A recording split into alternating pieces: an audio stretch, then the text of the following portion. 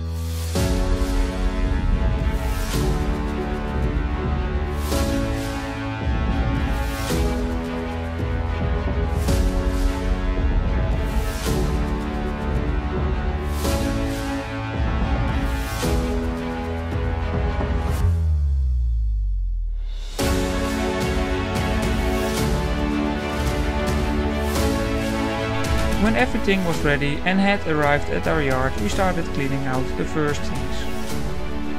Then we removed the Ravelex and stored it away safely. This boat has the following things we need for our own project and also some things we can use on our current sailboat. She is equipped with a Mitsubishi S4 L2 engine with around 80 hours.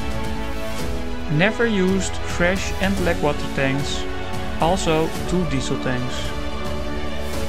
A wall-mounted Ravelex heater, which we will mount in our current sailboat for our upcoming travels in 2023 to Norway.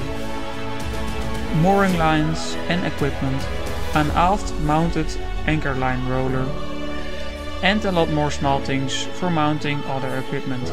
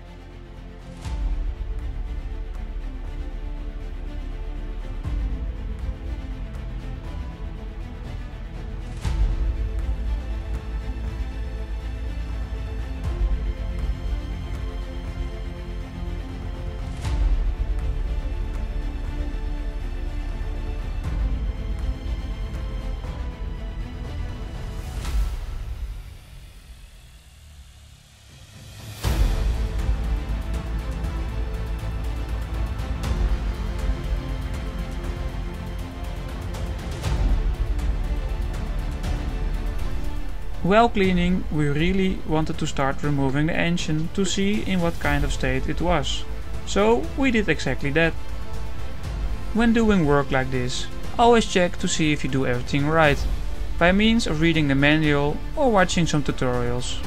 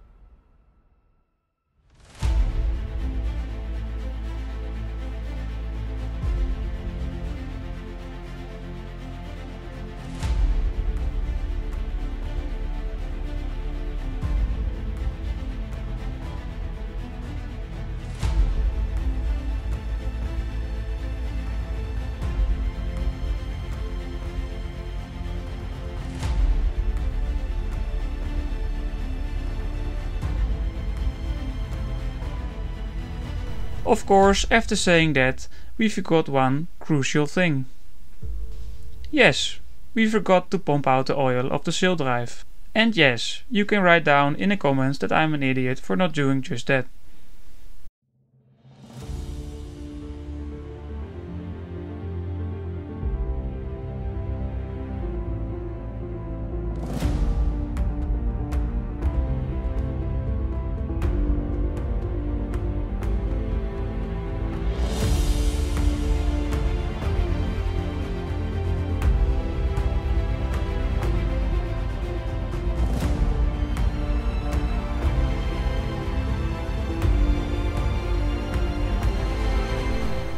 After cleaning up all the oil, we started to remove the gearbox housing to make it easier to get out of the boat. This is a quick time lapse of the process.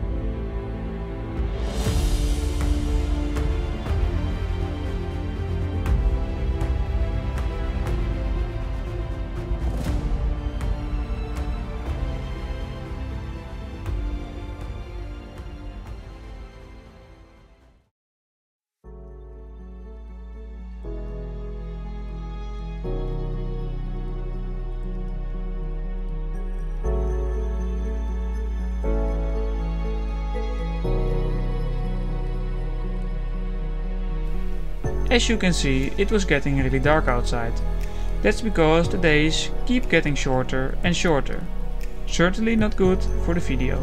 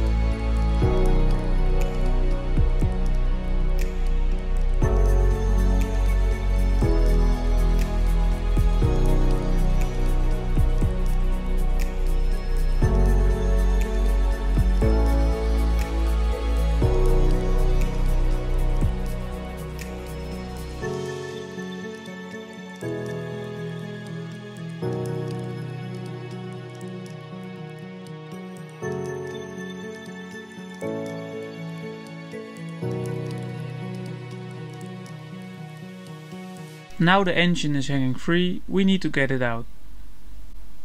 As we thought the boat would be demolished after this, the most simple way to remove the engine is to make a hole in the bottom to lower the engine out of the boat. But somebody else has bought the boat from us, so we need to be careful and pull it out from above.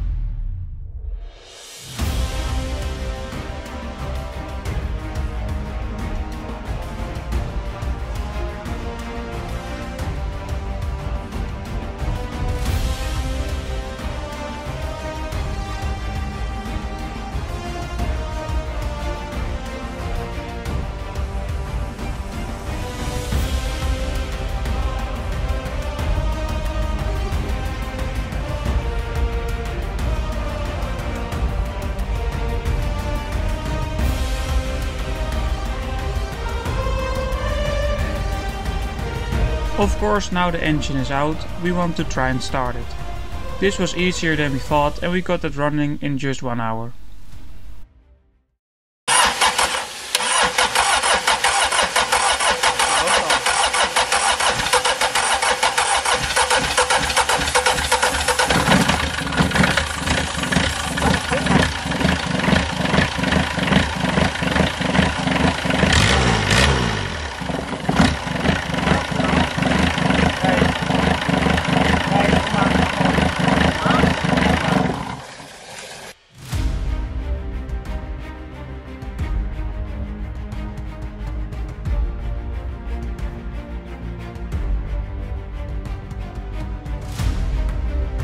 While it was running we noticed that the engine was not getting any water, so we inspected the impeller and as we thought it was broken. After a quick swap with a new one, we were ready to start again.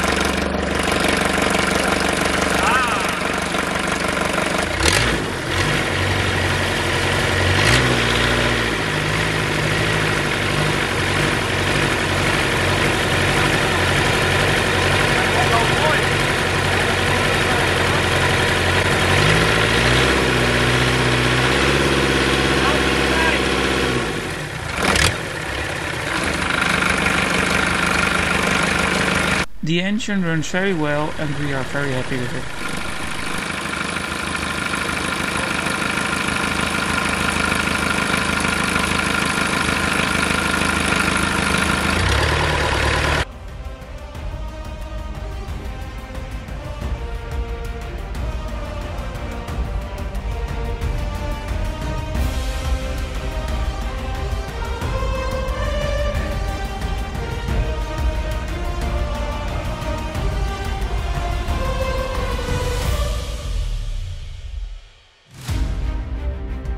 As we don't need the engine in the upcoming weeks, we will put it in this wooden box ready for storage.